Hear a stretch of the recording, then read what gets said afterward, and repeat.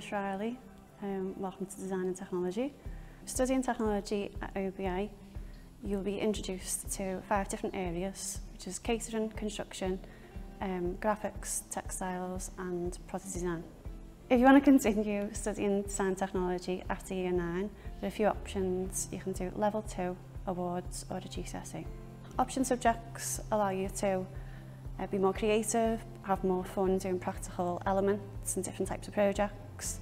Um, for example, in construction, you'll do painting and decorating, tiling, um, and a timber project. In product design, we get to make um, an iconic chair to relate back to history and what we've, done uh, we've seen in the past.